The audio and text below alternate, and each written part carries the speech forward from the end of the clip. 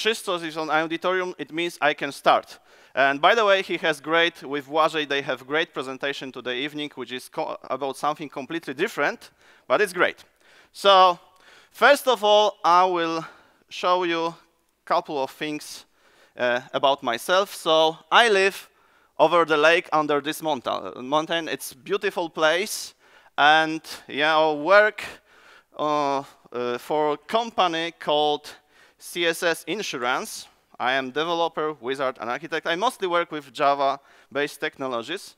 And if you, for some reason, like skiing, mountain bike, generally you love mountains, you like to swim over the lake, uh, yeah, you like all that stuff, yes, we are hiring. And there is one trick about it, you need to know German. And there are people I know that think life's too short to learn German. But there's a trick, a hack to that, life hack. I can show you. Who knows this map? Air, air quality index. So, you know, I won't just comment it, comment it much, but just take a look at the place where I live. So it's right here, right here, and quite honestly, here is the closest point. They don't measure any pollution there. But it happens that you will see something like 15 there. Uh, that's here is Zurich, for instance, the most polluted place. And you see, if you know typical sta uh, states from, from Krakow, you see the difference. So that's, that's the way how you can win couple of years and devote maybe one of them to learn German. But uh, just a hack. because maybe it's worth it. So that's a, that's a company, CSS Versicherung, insurance, and okay, I won't be talking about myself for long. I will be talking about this. This is the uh, machine I started learning. So who knows this machine? Uh, Commodore 64. And you pro I programmed... Uh, I won't sing a song about Atari because uh, my voice today is not great, but okay. So this is how programming on Commodore looked like. Like my first weeks, I was programming with BASIC. And you know what? One thing is great about BASIC. If you want to impress colleagues, with BASIC you can just hack something very quickly. Like you hack a couple of lines, you have some nice effect, whatever. I won't show you today great effects because I don't have that much time, but it's really a couple of minutes, and you do, you are done. So for instance, here my intent was, I show you basic and I want to greet you somehow. And there is a procedure in line, line 500, uh, 500. You see already great thing about basic. You don't have to invent names. You spare a lot of times because you don't have to invent names of the procedures, of functions. You just have line numbers. How cool, yeah? And then I will want to greet you three times. Go sub means call a procedure. Go subroutine. It's simple. So I will greet you three times, and we'll see what happens. First time hello Devoxx was what I the, uh, wanted to do. But then hello, hello Devoxx, what is this? Who knows where is the bug in this code? Come on, you know basic. Everybody knows basic. Name is global. And that may, exactly that's the problem, and that's the great part of the basic. You have everything global, so you don't have to worry, you just can access in every line, every variable, and it's very fast. You save a lot of time until the moment you have bug, but if the program is like 1,000 lines long, you just uh, read all of them and you see quickly the bug, and you are done, and you are very fast. But uh, there was a moment, maybe three weeks after I started programming, when I reached this 1,000 lines of code. And I was starting to do something bigger, and then I realized, oh my god, BASIC isn't that cool anymore. Uh, so I was thinking about switching to some other languages. So in the meantime, for instance, I switched to C because what you have in C language, you have to declare variables. Not every, not every variable is global. It's cool, it solves a lot of problems. So I switched to C, but then I had, uh, after a couple of years, some problems with C because C was like, oh my god, uh, how to encapsulate things, you have to remember what to call off uh, which function after another, etc. So I read about object-oriented programming and slowly through C++ I switched to Java where I'm still. Uh, and one thing about Java is great, because In Java, you have encapsulation, object-oriented things, etc. So just take a look at this code. In Java, we have great frameworks that simplify our lives. So that make some things easier. So let's take a look at this code, and maybe I will show you that in, a, in a, my IDE. So, oops. Right here. So I want to write simple service. And this is REST service.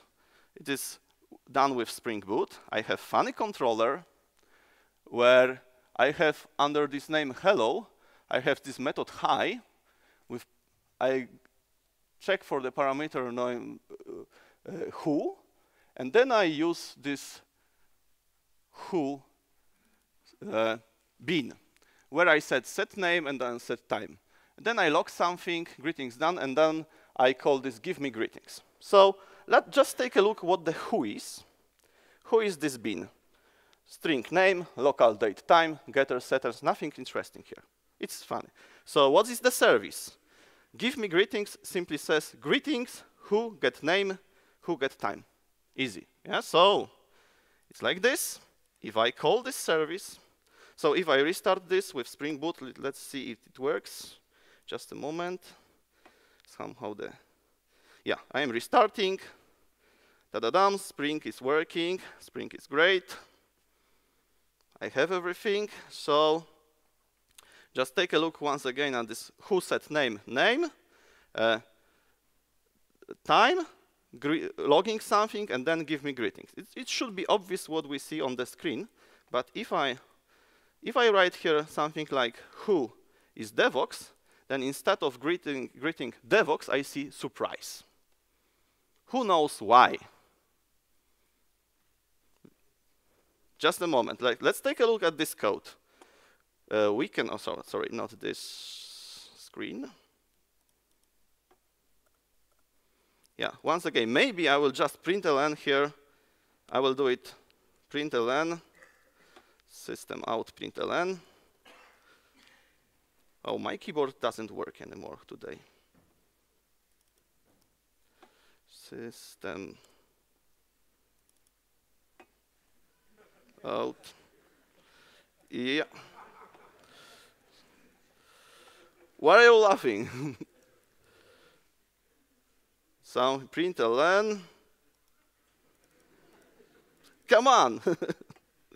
and who, uh, this, maybe I switch to pink mode and my keyboard doesn't respond, but that doesn't, doesn't matter. Okay, I will restart it.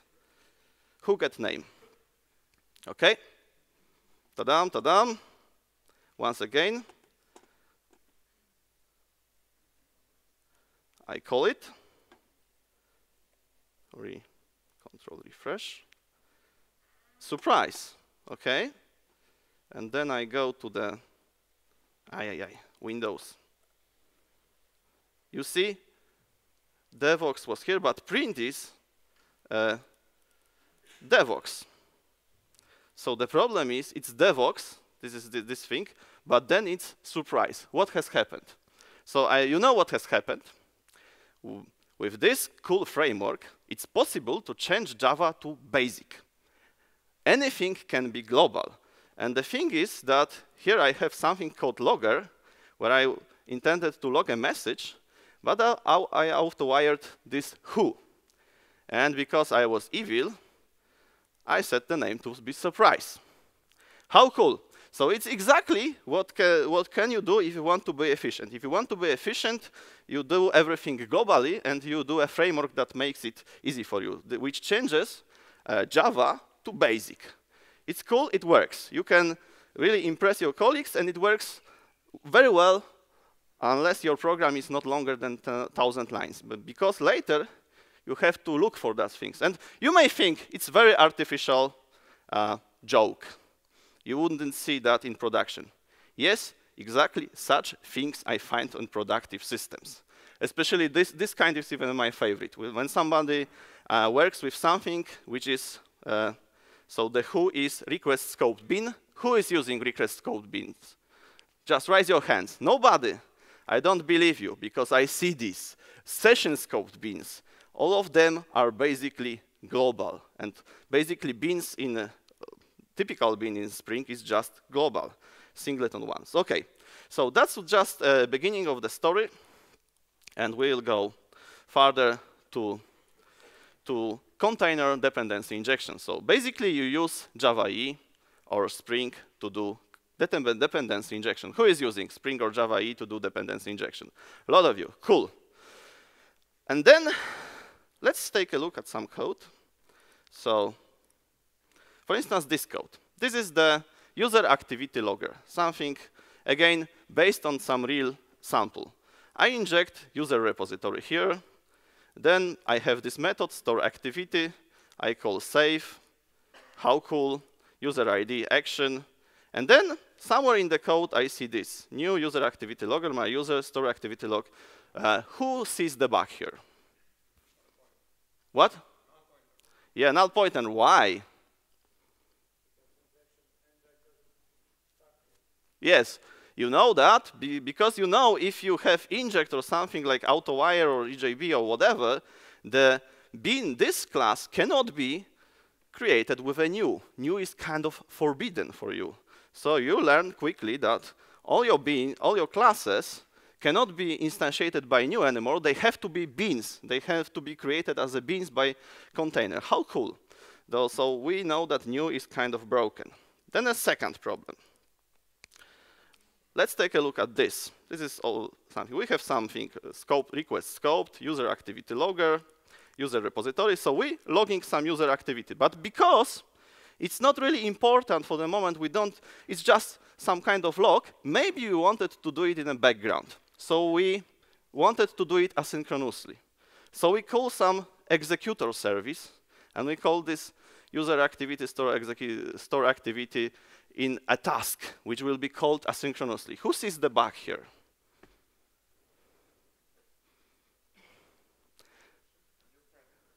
Yeah, so basically, if user repository uses some uh, session uh, uh, persistence context, it would fail. Basically, you learn, while using dependency injection container, you learn second thing, you cannot use threads because threads are kind of broken. They don't really work well because your transactions, uh, security context, etc. is broken. How cool. So the, the third thing you learn is that objects, for instance, who knows post construct or things like that, method. What is the post construct? So you have a constructor, which in object-oriented programming means that after constructing an object, it's useful. Oh no, it has to go through post-construct to be really useful. It's how cool. So we have uh, a life cycle of object which is not as simple as before, constructed and use, uh, useful, no. Constructed, partially useful, then after post-construct, etc., really useful. How cool. And there are even more, if you look at EJB, uh, scopes, it's really crazy what can happen. So the, the next thing I see in a pro projects if you can inject anything anywhere, you will see this example, then quickly you have classes that, for instance, have 15 dependency injections, like auto-wire, auto-wire, auto-wire. So it's really, I see that numbers in the real projects. How cool, because it doesn't cost you anything. You just inject, and then you get a hull. Uh, funny thing about it, if you have a problem, it's like in BASIC. You, can, uh, you cannot debug it easily. You, you, you have to go to the runtime and just see, oh, there is some of the bins is null. Why? Where you put the debug line to find out why it's null, why it's not injected. The code is not even, it's not even your code. It's some container. How cool. And that's, that's what I really like in Java you have getters and setters everywhere because we love to write such useful code. Getters and setters for the win, like, and then we have mappers. One day in our, company we had an exercise where we were doing, uh, we, the, our task was to find some ugly part of the random code project and refactor it. It's cool exercise to do. Uh, and the funny thing was, nine of, of out of 10 teams randomly found ugly part of the random project to be mapper, something writing from getters to setters. How cool. Then we realized, okay, maybe 90% of our code are just mappers. And the broken encapsulation, that the problem, yeah, you can, uh, you can inject everything everywhere, you can change any, even though with this who example, name was like private field in some kind of bin. And you, I wasn't even passing this bin to some service, but this service get this bin injection, injected and could change it. How cool. So, but maybe some of you know, okay, a lot of these problems, like with asynchronous calls, can be solved with just one another uh, annotation. Like if you want to call something asynchronously, there is for sure somewhere annotation in Spring how you call asynchronous task. I've forgotten it for the moment because I'm mixing it with, with Java E annotation, which is a little bit different. And there, there is annotation for everything you want to do. So that's cool. The problem is that's not Java anymore. You, you don't use new, you don't use uh, threads, you don't use normal JDK, you have to use special another book, read another book with another language, language of annotations. How cool. And the thing is that what it really resembles me like, I am doing Java E and Spring for 17 years. Really started with JBoss 1. How cool. And at that time, the development, maybe you've heard it from your older colleagues, was Java development was in fact XML development we had these big XML files and everything was configured in XML. And in a, one moment I've seen, okay, we have annotations, how cool, Java 5 annotations, no, no, no XML anymore, how cool. But then I realized, oh my God, this XML is gone. It's just now embedded in Java code. It's called annotation, but it's the same, same XML. I'm writing in the second language, which is not really Java. Okay, so is there any solution for that? Because I'm bashing something that's really, most of you write with that. So if you look carefully, there is one great post from Oliver Gierke done a couple of years ago uh, about field injection being evil. Who knows this? Great. So he just simply said, if you have this code, like inject my collaborator, then this code is basically surely wrong. Because it might work, but it's like begging for null pointer exception, because where do you put debug line? How can you check that the bin was injected? So he proposes that we should write always container-based injections, so like with this inject my component collaborator. It's a little bit different. It's better, for sure. I do agree it's way better. Right now, we can put somewhere our constructor. We can put assertion. And in this post, Oliver Gierke is one of the authors of Spring. You see that this constructor-based dependency injection is means better testability. Yes, you can simply create in test this class without Spring context. Um, you see, if you have too many dependency injections, in one moment you see, oh my God, my constructor has six fields. So it's the moment where you start refactoring, not in the moment you have 15 and it's too late. So it's cool. It's way better encapsulation because after construction you have really useful bin. Typically you then you don't need post-construct that much. So there is this great post, why field injection is evil. I do recommend it. It's quick, uh, it's, it's, small and it's, it's great. But I think there is we can do better. Like this. You see it's like the, on this Oliver Gierke post, but with one difference, there is not this inject there is missing this inject, and it's better. Because then it's completely plain Java. It works all the time without Spring context.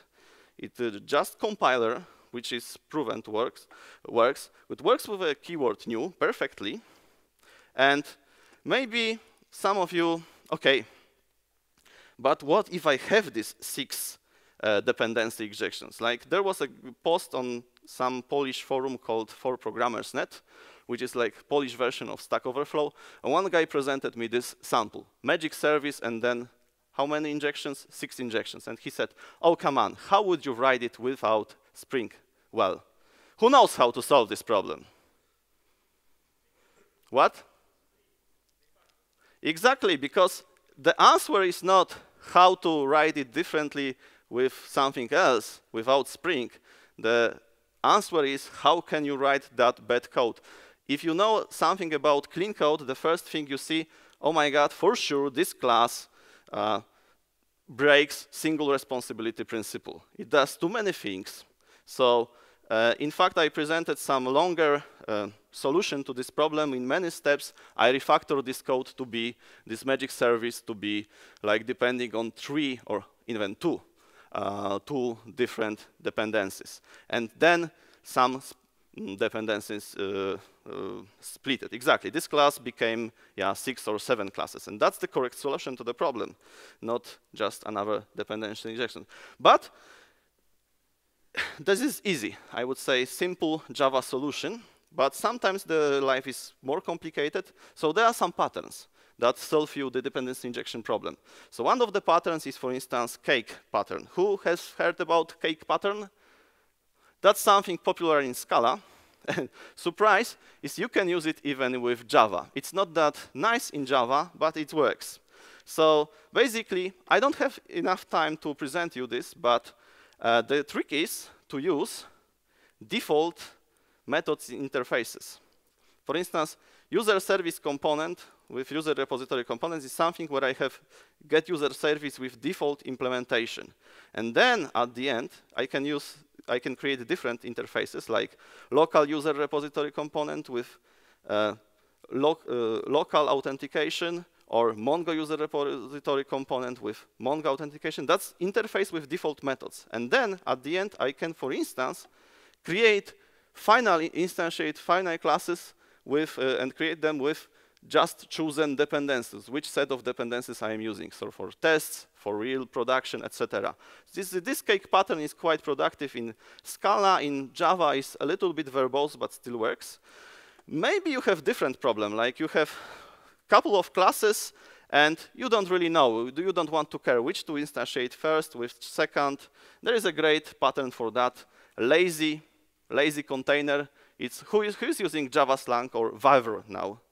That's a great library. I would say that's the first library in Java uh, that you should use. It's better, for instance, than Java util collection, etc., for mo most of the problems that you have. And there is this lazy container, which means, for instance, I have, I can use uh, couple of, I can create a couple of services and maybe this service one I am even instantiating first, but finally it will be constructed later after service two is instantiated. How cool.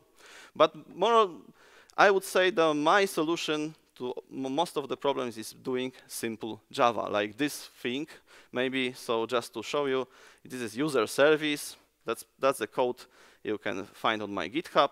I will be showing this code, in fact, later today on the other session about Ratpack. And I have user service with two dependencies. I'm doing something.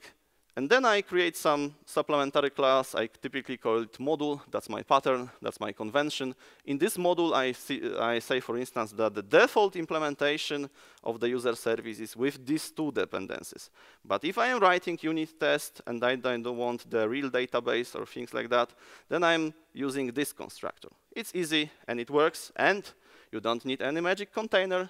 You just use Java and constructor and compiler, everything is proven to work all the time. And if it's broken, compiler will tell you that, not a runtime.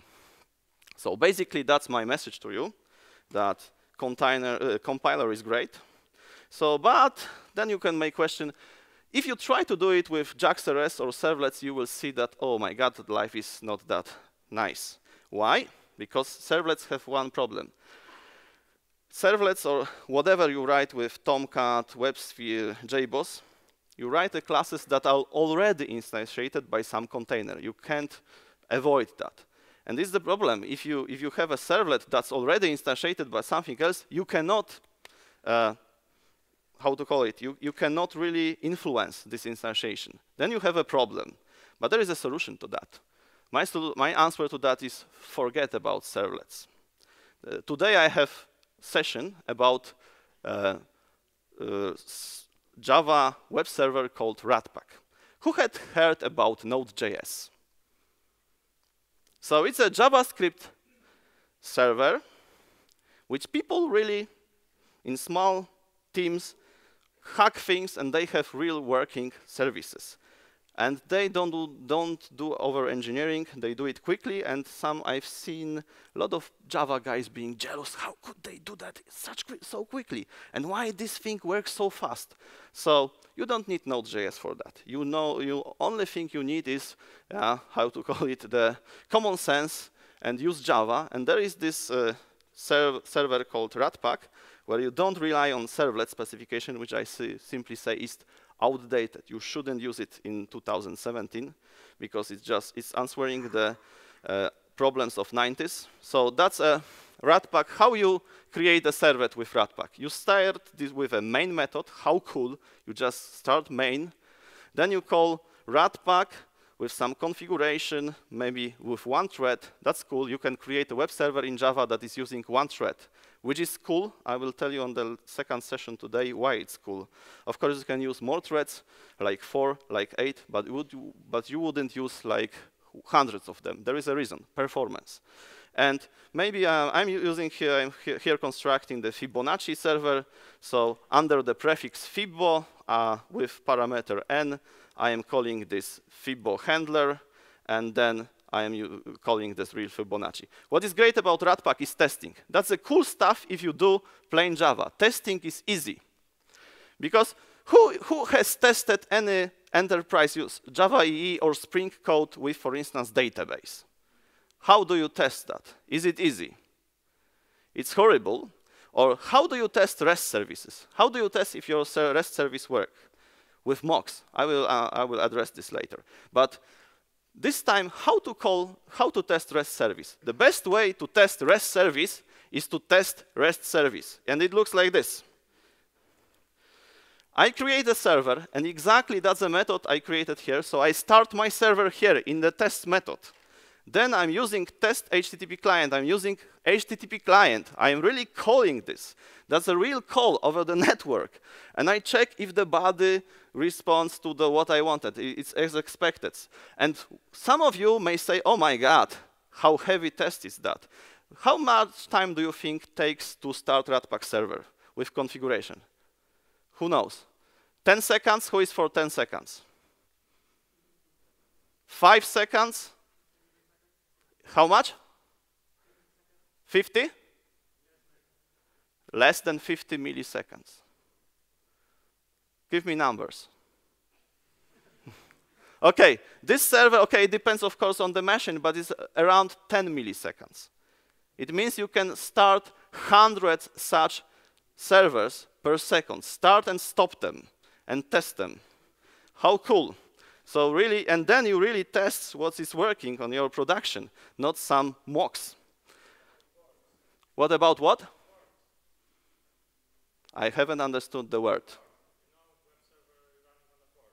Yeah, you, yeah, you, you, you can start in tests of Ratpack. I will show you later. You can, for instance, overwrite, use different port, or, or you can for sure start them one by one. So they start on the on the yeah on the same time on the same port every time, but the, the previous one is closed before you start the next one. Okay, but if some of you, I'm working for the insurances in Switzerland. I have WebSphere. Oh my God. And I cannot drop it. I have to live with that. But my team, in fact, has found a solution because you, when you have problem, you build a wall. You know, that's the Commonwealth solution. Just build a wall. And our, wall, our wall in Java is like this. We have some beans. We have, we have to use EJBs. Just we are forced. And then those EJBs uh, have persistence context with entity manager, so similar stories in Spring, whatever. But what we then do is we don't really code inside of beans. We call this, uh, that's our name convention, we create delegate classes. What is delegate, what is delegate class? It's basically mirroring the, the bean, but it's a plain Java class. Doesn't, it's not a bean, it's not broken, it's, it's just Java class. And it has entity manager as dependency injection. And we are clearly constructing this class here. And it's even more, if this class, this class is maybe using database, and then this class is using some maybe real calculation, some logic. Then we write this logic in the third class, where we have plain Java logic. That we can, for instance, test. So we have in this MyCalculator class where it's plain without database logic, we would uh, do our business logic, we would write test for that, what our business wants. Then in a delegate, we would have this plus real databases, things like that. And then finally, only the wrapper, only the color of this inside of EJB. What it means for us, that we have very well tested this part, we test, we have slow test because they use database, but in-memory database, but they are still slow with the, uh, for the service delegates. And finally, quite honestly, we don't have those tests for these wrappers because first, this class is trivial. Second, testing that with a real container is uh, just ugly.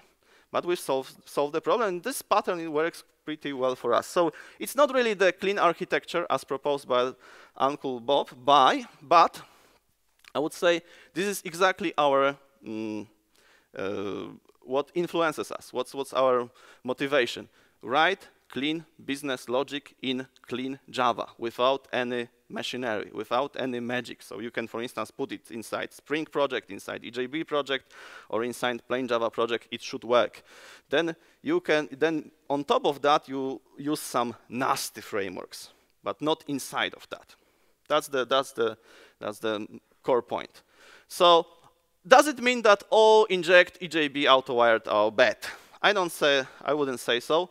If you do, are doing some plugins, or you have customizable deployment. So it means for this customer, I'm using this jar with these dependencies. For other customer, different jar. Then usage of such annotation is perfectly legal. If you have remote calls of EJB, by the way, you know that EJB, this original Java EE, was done in order to make remote calls. That was the motivation to do that.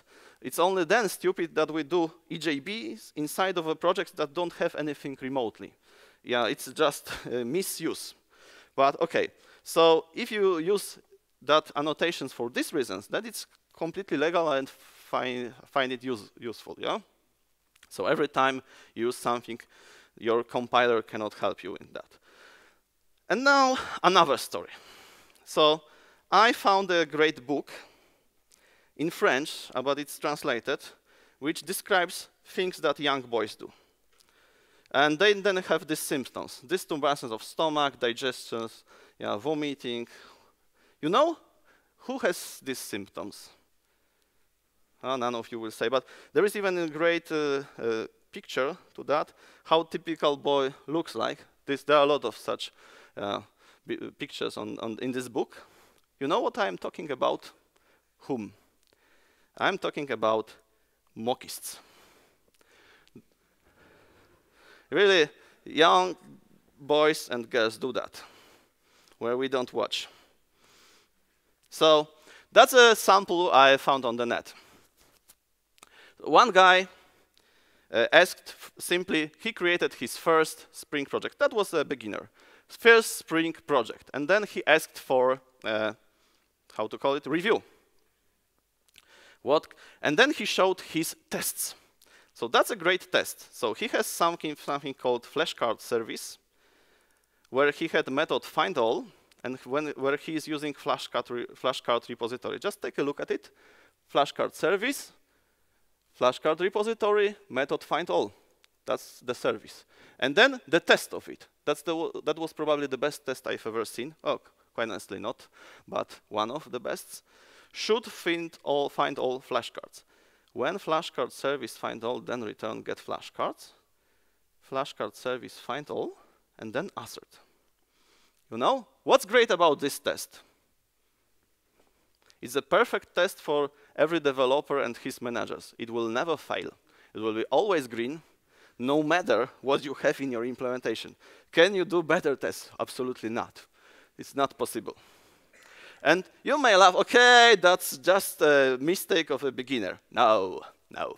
I've seen such, I see such tests quite often in a productive system. It's even so, uh, we had a big system written with Spring with some by some external company, which they wanted really to cover everything, 100%, but they wanted to do it cheaply. So they've written a lot of such tests. It was great because I was doing, for instance, refactoring. I've seen, okay, oh my God, it's all tested, how cool. So I maybe, for, for the first time, I just delete all the code. Tests are green, how cool. Done. So it's really what happens if you overuse Mockito a lot. So I don't say, by the way, that these those tests are useless. Those are great tests for Mockito. So every time you write such test, send uh, you know greeting to Szczepan, who is the author of Mockito. You tested his framework for the I don't know millions times. So that's great, and a lot of companies are doing that really. There is even something called London School of Test-Driven Development. Who has heard about it? Like you simply mock everything. You just after every line you check if the re response of some other service is, you verify if it's exactly what you would want to write. So the problem is with this school, just take a look at, at, it, at it, there are article, there is the problem that you test mocks only. And yeah, Mockito is the most tested, and there, there is the, even the best problem. If you, you can use verify in Mockito, then you really test it was this method called first, then this, then this. So really call, uh, test everything on inside the implementation. How cool, because there come, then come the, comes the day, I'm doing refactoring.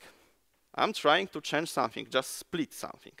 And oh my God, I haven't even really changed the logic, but tests are broken because I'm doing something in different order. So really, is it, even though the method returns the same result, my test says it's broken because it's doing it in a different, for instance, uh, order. So what's the point of having such tests? So because why we write tests? We test, write tests so that we can do refactoring easier. But if we have, every time we have such tests with London School of TDD, after refactoring, we have instant, instantly to change the tests, something I think doesn't really work here well.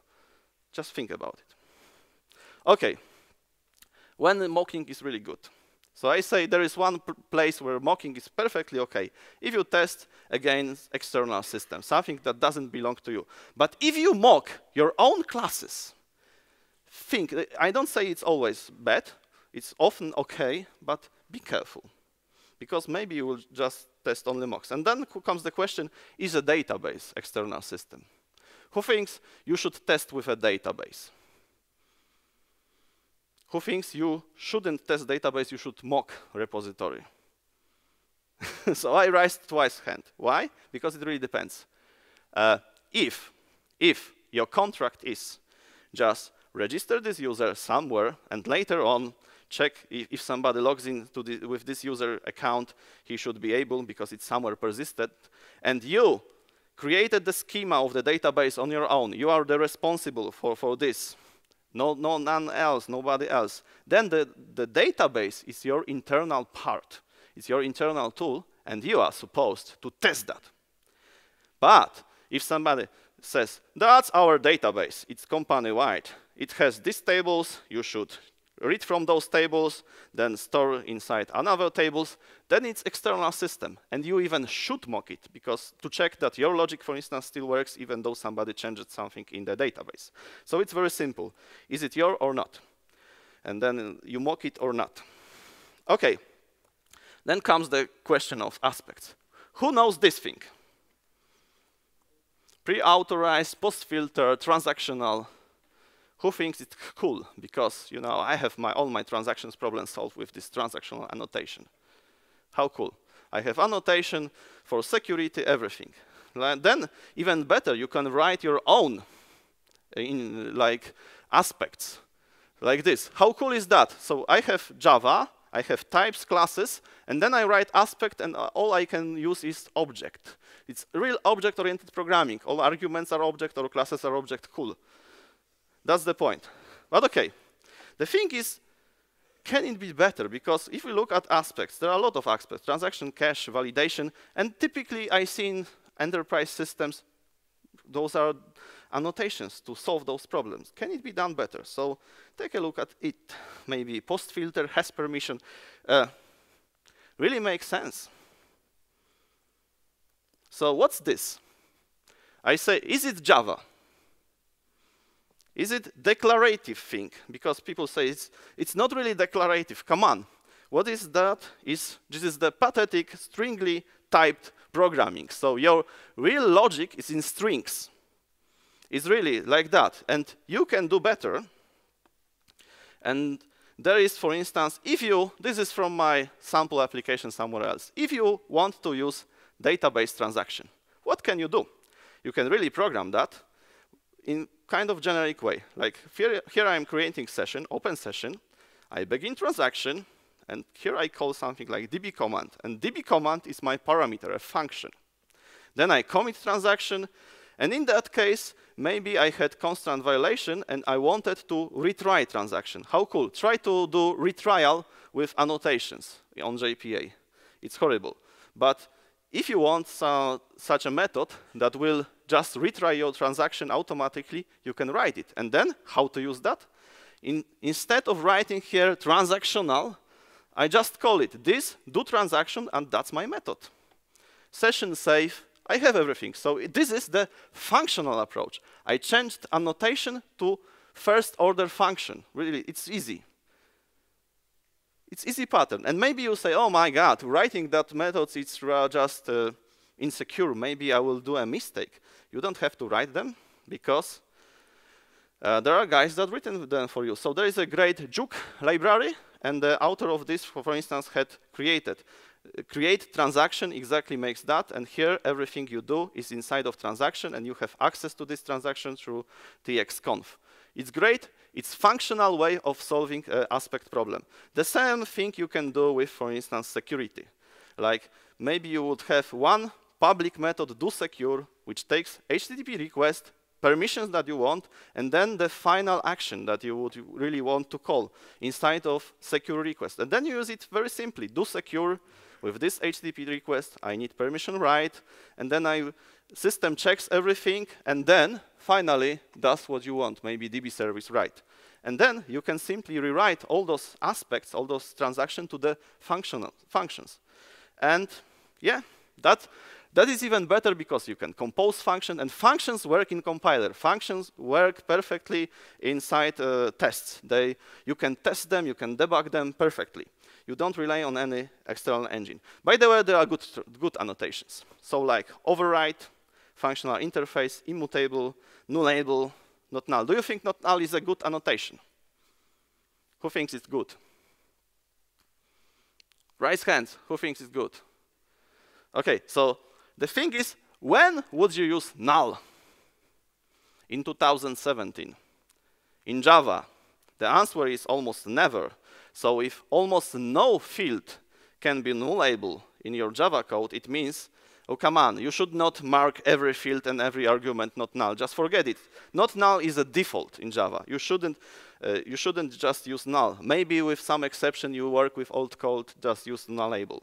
And then test, dynamic test. Those all annotations have one thing in common. They help compiler. Then help you to check that your code is better. Then just, there are just some marks to compiler. There are compile build time checks, yeah, like this. And there are other sets of transactions like this JSON deserialize, JSON create, or XML root. Those help to convert something from Java to JSON, XML. There are different such annotations. Again, this is Java, non-Java collaboration. And by the way, I don't think those are perfect because, for instance, in Scala world, they already changed the, this approach. So in Scala, it's possible to do JSON, for instance, mapping without annotations, well, on a compiler level. It's way better, I would say, but in Java, we, are, we can, don't have that good stuff like compile time macros. Okay. Because you know, when something is done by the compiler, it's proven under compile time, not under runtime. So if you have problem, your, for instance, JSON mapping is just basically broken, cannot be, you would see that on the compile time in Scala, not in, on, the, on the runtime. Uh, this is one thing I like. So I'm reading some historical books and texts. And if you look at the medieval texts, like the charters, treaties, or uh, pacts, you would see that typical look like this. John, by the grace of God, King of England, Lord of Ireland, Duke of Normandy, blah, blah, blah, blah, blah. It's a lot of that. And it's even more, know that before God, for the help of our soul and those of our ancestors, blah, blah, blah, blah, blah, blah, blah, blah, blah. You know, it's really funny because this text is long. You know, this is a famous text. You know, who knows this text?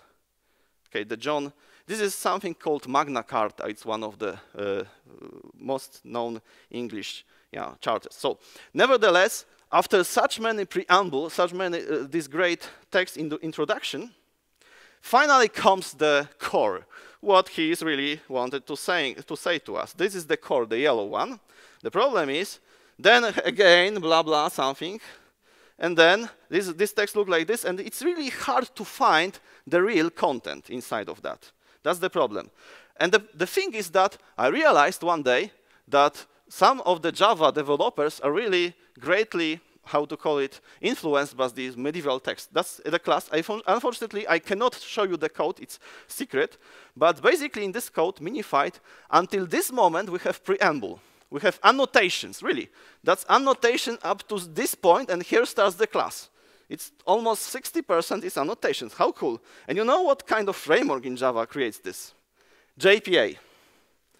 It's really, it's the best thing. So typically it looks like this. I've seen it, you know, hundreds of times. Named query, it's not even named query, cacheable, blah, blah, blah, blah, blah, read-only, etc. And then finally starts the entity, which is just such small. And then it's funny because if you have a problem in one of these, uh, of these annotations, how do you check by the compiler. It's only while you start the container, maybe some of those selects are really scanned, and you see, so see the problem.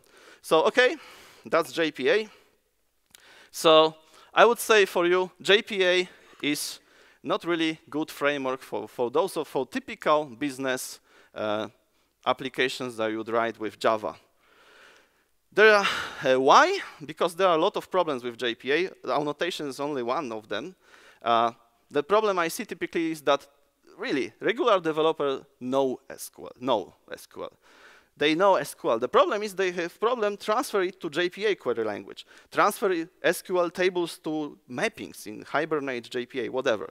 The life cycle of JPA is very complicated of entities. Like you have detached, managed, etc. And for instance, my, my best thing, I am sometimes the best bugs, I am sometimes Heisenbugs on production is where somebody has nested transaction, requires new. And inside of requires new, he creates an object, persists an object. And then this object is returned to the external transaction and attached to some list. You know, JPA really gets crazy when it finds it. So Hibernate, whatever. So there are a lot of problems with that, but there are easy solution. Just forget about JPA. JPA has some uses, but there are better uh, libraries, I would say, for you, like jOOQ or MyBatis, which are very simple. And if you talk SQL, you understand SQL, you can really use the full power of that with, for instance, jOOQ or MyBatis. Really, years ago, first time I've seen my MyBatis, I was lucky. Oh my God, how primitive is that? But then I've seen that the project was really working well because we were not spending weeks trying to find out what's going on, why is null there or whatever, because we had everything just written in code. It's cool. It's no magic, no SQL, and we talk SQL like human beings. Okay, uh, so I'm going to end this talk. Um, so I've shown you a lot of problems with annotations. I'm showing you some uh, good examples how to get out of this hell with, for instance, functional code or compiler there are resources you can read about. It's like Oliver Gierke I mentioned. One great presentation from Mario Fusco is Gang of Four Patterns to Lambda. So how to, lot of patterns that you use that maybe you learn in studies are just outdated because of functional programming. You can uh, write them way simpler with just functions. Uh, uh, made a post about dependency injection inversion, which he also says about uh, why to use container to do that. Annotation Mania is a great uh, page where you simply uh, where, where, they are just bashing annotations. Just recommend to take a look at it because author is just, this is the author of uh, jOOQ is uh posting very funny uh, things about it. So Technology Radar, who knows Technology Radar? So it's a great page and you know, years ago they published, you should stop using application servers. It's no, 90s are gone. Come on. So it means also servlets, etc. forget about it. Okay, they propose different solution. You can use embedded servers, but I, I would say there is even better uh, thing as embedded server. Things like Ratpack, for instance. If you want to see the clean application really working, I will be showing it in a couple of hours. It's Ratpong. It's on a GitHub. You can uh, look for the Ratpong. It's a Pong game, web-based Pong game done this clean way without any annotation, containers, just plain Java. And you see that the code really looks nice. And about annotation, I would say once they were really great, and I was really happy to avoid XML and start with annotations. But then, after year, year, years, I realized they bring another problems. And, and those problems can be solved with lambdas way better. And we should give our chance to compiler, because compiler is proven to work all the time. If it says something is broken, then it's broken. If it it works, it should work. So give chance to compiler. Okay, Switzerland is the thing. Tests. If compiler doesn't help you, then write tests. And only, only then, if test and compiler doesn't help you, the reflection or this magic, magic of container is the last resource. But you, you should use it not that eagerly as you do it probably now. You should do it as a last chance if anything else doesn't work. Yeah. And by the way, using that, you can really make Java great and funny again. You can do nice projects, not often engineered, yeah, great Java. So that's all I wanted to say. Thank you very much. Uh, unfortunately,